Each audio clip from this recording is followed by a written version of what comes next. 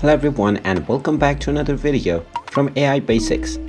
In this video, I'm going to show you how to blur background on the Videoleap application.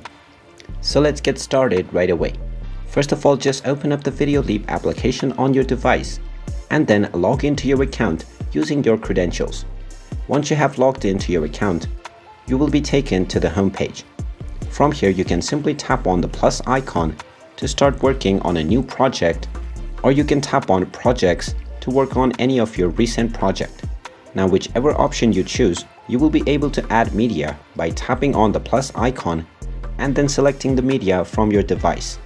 Once you add the media, in order to blur the background, simply tap on the picture or video and you will find various options at the bottom section.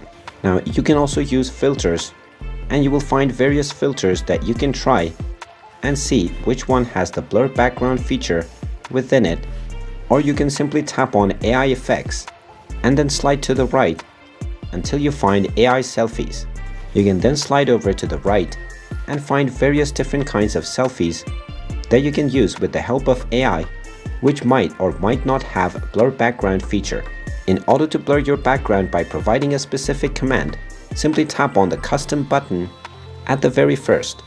From here you can simply type in the transformation that you want to be made to your picture. Simply type in blur the background and tap on the tick mark and within a few seconds the Videoleap AI will blur the background for your selected image or video. Once you're satisfied you can simply tap on the export button at the top right corner and select your export settings including the frame rate and resolution and then tap on save video to save your video to your galleries. And there you have it. That is how easy it is to blur the background on the Videoleap application.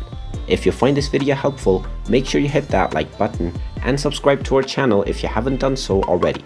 Also ring that notification bell to never miss another update from us. Thank you for watching and I will see you again in the next video.